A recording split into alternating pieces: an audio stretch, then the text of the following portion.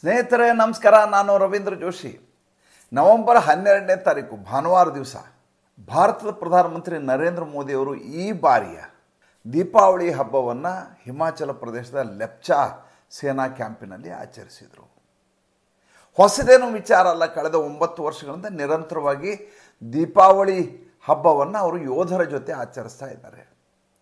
ನಮ್ಮ ಮನೆಯ ದೀಪ ಬೆಳಗಬೇಕೆಂದರೆ ಅವರ ತ್ಯಾಗ ಅದಕ್ಕೆ ಕಾರಣೀಭೂತ ಆಗಿರುವಂಥದ್ದು ನಾವು ಇವತ್ತು ಸುರಕ್ಷಿತವಾಗಿದ್ದೇವೆ ಅಂದರೆ ಗಡಿಯಲ್ಲಿ ನಮ್ಮ ವೀರ ಯೋಧರು ನಮ್ಮನ್ನು ಕಾಯ್ತಾ ಇರೋದ್ರಿಂದ ನಾವಿಲ್ಲಿ ದೀಪವನ್ನು ಬೆಳಕೊಂಡು, ಹಣತೆಯನ್ನು ಬೆಳಕೊಂಡು ಸುಖವಾಗಿದ್ದೇವೆ ಅನ್ನುವಂಥ ಕಾರಣಕ್ಕೋಸ್ಕರ ನೈತಿಕವಾಗಿ ಅವರ ಜೊತೆ ನಾವಿದ್ದೇವೆ ಅನ್ನುವಂಥ ಭಾವವನ್ನು ಮೂಡಿಸಲಿಕ್ಕೆ. ಮತ್ತು ಅವರ ಜೊತೆ ಒಂದು ಅನುಸಂಧಾನವನ್ನು ಉಂಟು ಮಾಡುವಂಥ ದಿಸೆಯಲ್ಲಿ ನರೇಂದ್ರ ಮೋದಿ ಕೈಗೊಂಡಿರುವಂಥ ಅತಿ ದೊಡ್ಡದಾದಂಥ ಪವಿತ್ರ ಕೈಂಕರ್ಯ ಇದು ಅಂತ ನನಗೆ ಅನಿಸುತ್ತೆ. ಪ್ರಾರಂಭದ ದಿನಗಳಲ್ಲಿ ಯಾವಾಗ ಎರಡು ಸಾವಿರದ ಹದಿನಾಲ್ಕರಲ್ಲಿ ಪ್ರಧಾನಮಂತ್ರಿ ಆದಾಗ ಮೊದಲೇ ಬಾರಿ ಈ ರೀತಿ ಅವರು ಸೇನಾ ಕ್ಯಾಂಪಿಗೆ ಹೋದರು. ಆಸ ಆವಾಗ ಸಿಯಾಚಿನ್ ಗ್ಲೇಸಿಯರ್ಗೆ ಹೋಗಿದ್ರು ಅವರು. ಹೋದಂಥ ಸಂದರ್ಭದಲ್ಲಿ ಬಹಳ ದೊಡ್ಡದಾದಂಥ ವಿವಾದವನ್ನು ಸೃಷ್ಟಿ ಮಾಡಲಾಯ್ತು. ಏನಂತ, ನರೇಂದ್ರ ಮೋದಿಯವರು ಈ ರೀತಿಯಾದಂಥ ಗಿಮಿಕ್ಗಳನ್ನು ಮಾಡ್ತಾರೆ. ಇದೊಂದು ಫೋಟೋ ಸೆಷನ್ನು ಜನರ ದಿಕ್ಕು ತಪ್ಪಿಸ್ಲಿಕ್ಕೆ ಈ ರೀತಿಯಾದಂಥ ಒಂದು ನಾಟಕವನ್ನು, ಪ್ರಹಸನವನ್ನು ಮಾಡ್ತಾರೆ. ಯಾಕೆ ಹಾಗನ್ಸತ್ತೆ ಇಲ್ಲಿಯ ರಾಜಕಾರಣಿಗಳಿಗೆ? ಯಾಕೆ ನಮ್ಮ ರಾಜಕಾರಣಿಗೆ ಈ ಭಾವ ಬರುತ್ತೆ ಅಂದರೆ ಅವ್ರಿಗೆ ಈ ರೀತಿಯಾದಂಥ ಆಲೋಚನೆಗಳೇ ಇರೋದಿಲ್ಲ ಅಂತ. ನಾವು ಹೀಗೆ ನಮ್ಮ ಸೇನೆಯ ಯೋಧರ ಜೊತೆ ಹಬ್ಬವನ್ನು ಆಚರಿಸಬಹುದು, ಅವರು ಕೂಡ ನಮ್ಮ ಕುಟುಂಬದ ಸದಸ್ಯರು. ಅವರು ತಮ್ಮ ಕುಟುಂಬವನ್ನು ತೊರೆದು ನಮ್ಮ ಕುಟುಂಬವನ್ನು ರಕ್ಷಿಸಲಿಕ್ಕೆ ಬಂದಿದ್ದಾರೆ ಅಂತ ಯಾವ ರಾಜಕಾರಣಿಗಳಿಗೂ ಅನಿಸಿರೋದೇ ಇಲ್ಲ.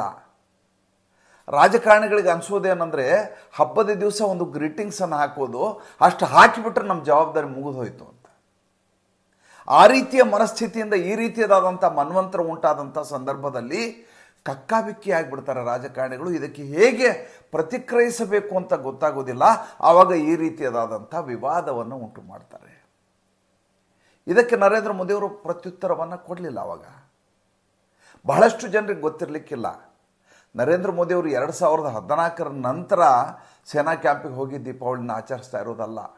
ಕಳೆದ ಮೂರು ದಶಕಗಳಿಂದ ನಿರಂತರವಾಗಿ ಇದೊಂದು ಸಂಪ್ರದಾಯವನ್ನು ತಾವು ರೂಢಿಸಿಕೊಂಡು ಬಂದಿರುವಂಥದ್ದು ನರೇಂದ್ರ ಮೋದಿಯವರು ಅವರು. ಸ್ವತಃ ಮುಖ್ಯಮಂತ್ರಿ ಇದ್ದಾಗ ಗುಜರಾತ್ ಬಾರ್ಡರ್ಗೆ ಹೋಗ್ತಿದ್ರು, ಪಾಕಿಸ್ತಾನ್ ಎಂದು ಗುಜರಾತ್ನಲ್ಲಿ. ಅಲ್ಲಿ ಹೋಗಿ ದೀಪಾವಳಿ ಹಬ್ಬವನ್ನು ಆಚರಿಸ್ತಾ ಇದ್ರು. ಅದಕ್ಕಿಂತ ಮುಂಚೆ ಅವರು ಮುಖ್ಯಮಂತ್ರಿ ಆಗೋಕ್ಕಿಂತ ಮುಂಚೆಯೂ ಕೂಡ ಸೇನೆಯ ಜೊತೆಯೇ ಅವರು ದೀಪಾವಳಿಯನ್ನು ಆಚರಿಸೋದು ಇದು ಎಷ್ಟು, ಎಷ್ಟೋ ಜನರಿಗೆ ಗೊತ್ತೇ ಇಲ್ಲ. ಸ್ವತಃ ನರೇಂದ್ರ ಮೋದಿ ಕೂಡ ಇದನ್ನು ಎಲ್ಲಿಯೂ ಪ್ರಸ್ತಾಪ ಮಾಡೋದಿಲ್ಲ. ಬಹಳ ಜನರಿಗೆ ಗೊತ್ತಿರಲಾರ್ದಂಥ ವಿಚಾರ ಇದು.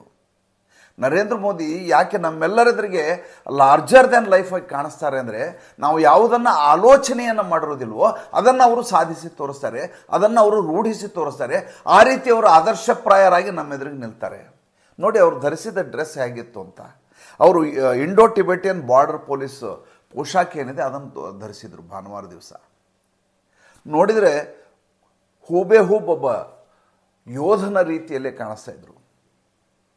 ಯಾವ ಯೋಧನಿಗೂ ಕಮ್ಮಿ ಏನಲ್ಲ ಅವರು. ನಮ್ಮ ಯೋಧರು ಗಡಿಯಲ್ಲಿ ಹೇಗೆ ಕಾಯ್ತಾರೋ, ಹಾಗೆ ರಾಷ್ಟ್ರದ ಒಳಗಡೆ ನಮ್ಮ ರಕ್ಷಣೆಗಾಗಿ ಕಟಿಬದ್ಧನಾಗಿ ನಿಂತಂಥ ಸೈನಿಕರ ರೀತಿಯಲ್ಲಿರುವಂಥವ್ರು ನರೇಂದ್ರ ಮೋದಿಯವರು ಅದಕ್ಕೆ ನಮ್ಗೆ ಭಾಳ ಅವ್ರ ಬಗ್ಗೆ ಹೆಮ್ಮೆ ಅನಿಸೋದು. ಒಬ್ಬ ವ್ಯಕ್ತಿಗೆ ಹಣತೆಯನ್ನು ಹಚ್ಚುವುದು ಅಂದರೆ ಕೇವಲ ಎಣ್ಣೆಯನ್ನು ಹಾಕಿ ಬತ್ತಿಯನ್ನಿಟ್ಟು ಬೆಳಗ್ಗೆ ಫೋಟೋ ತೆಗೆಸುವುದಲ್ಲ, ಅದನ್ನು ಮೀರಿ ಇನ್ನೊಬ್ಬರ ಎದೆಯೊಳಗೆ ಬೆಳಕು ಮೂಡುವ ಹಾಗೆ ಮಾಡುವಂಥ ಬದುಕಿನ ನಡೆಯನ್ನು ರೂಢಿಸಿಕೊಳ್ಳುವಂಥ ಕೊಂಡಂಥ ಯಾವುದಾದ್ರೂ ವ್ಯಕ್ತಿ ಇದ್ದರೆ ಅದು ನರೇಂದ್ರ ಮೋದಿ. ಲೆಪ್ಚಾದಲ್ಲಿ ಅವರ ಭಂಗಿಯನ್ನು ನೋಡಬೇಕಾಗಿತ್ತು. ಅವರು ಅಲ್ಲಿಯ ಸೈನಿಕರ ಜೊತೆ ಒಡನಾಟವನ್ನು ನೀವು ಗಮನಿಸಬೇಕಾಗಿತ್ತು.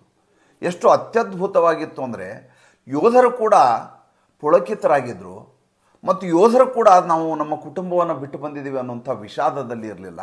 ಯೋಧರು ಕೂಡ ಸಂಭ್ರಮದಲ್ಲಿದ್ದರು ಜೊತೆಗೆ ನರೇಂದ್ರ ಮೋದಿಯವರು ಕಳೆದು ಹೋದ ನನ್ನ ಸಂಬಂಧಿಗಳನ್ನು ಮತ್ತೆ ಭೇಟಿಯಾಗಿದ್ದೇನೆ ಅನ್ನುವ ರೀತಿಯಲ್ಲಿ ಲವಲವಿಕೆಯಿಂದ ಓಡಾಡಿಕೊಂಡಿದ್ದರು ಸಂಪೂರ್ಣವಾದಂಥ ಆ ಕಾರ್ಯಕ್ರಮವನ್ನು ನಾನು ಕ್ಷಣ ಮಾತ್ರವೂ ಬಿಡಲಾರದೆ ನೋಡಿದೆ. ಯಾಕೆಂದರೆ ನಮಗೆ ಅಲ್ಲಿ ಹೋಗಿ ಈ ರೀತಿಯಾದಂಥ ಒಂದು ಅನುಸಂಧಾನವನ್ನು ಮಾಡಲಿಕ್ಕೆ ಅವ್ರ ಜೊತೆ ಒಡನಾಟ ಮಾಡಲಿಕ್ಕೆ ಸಾಧ್ಯ ಆಗೋದಿಲ್ಲ. ಲೌಕಿಕ ಜಗತ್ತಿನಲ್ಲಿ ಮುಳುಗಿ ಹೋಗಿರುವಂಥವ್ರು ನಾವು. ಆದರೆ ನರೇಂದ್ರ ಮೋದಿ ಅಂತಹ ವ್ಯಕ್ತಿ ಮಾತ್ರ ಇಂಥದ್ದೊಂದು ಸಂಪ್ರದಾಯವನ್ನು ರೂಢಿಸಲಿಕ್ಕೆ ಸಾಧ್ಯ. ಈ ರೀತಿಯಾಗಿ ಆದರ್ಶಪ್ರಾಯರಾಗಲಿಕ್ಕೆ ಸಾಧ್ಯ. ಮತ್ತೊಮ್ಮೆ ತಮ್ಮೆಲ್ಲರಿಗೂ ದೀಪಾವಳಿ ಹಬ್ಬದ ಹಾರ್ದಿಕ ಶುಭಾಶಯವನ್ನು ಹೇಳ್ತಾ ಇವತ್ತಿನ ಸಂಚಿಕೆಯನ್ನು ಮುಗಿಸ್ತಾ ಇದ್ದೇನೆ. ಸಂಚಿಕೆ ಇಷ್ಟ ಆಗಿದ್ದರೆ ಲೈಕ್ ಮಾಡಿ ಫಾಲೋ ಮಾಡಿ ಶೇರ್ ಮಾಡಿ. ನಮ್ಮ ಮುಕ್ತ ಪತ್ರಿಕೋದ್ಯಮಕ್ಕೆ ದಯವಿಟ್ಟು ಆರ್ಥಿಕವಾಗಿ ಬೆಂಗಾವಲಾಗಿ ನಮಸ್ಕಾರ.